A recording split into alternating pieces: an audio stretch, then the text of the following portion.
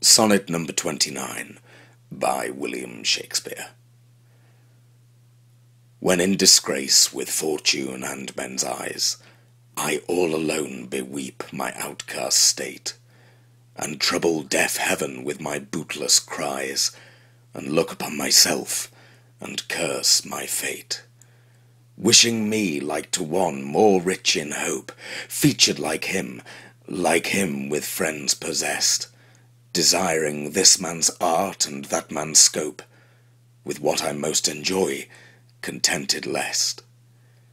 Yet, in these thoughts, myself almost despising, haply I think on thee, and then my state, like to the lark at break of day arising, from sullen earth sings hymns at heaven's gate.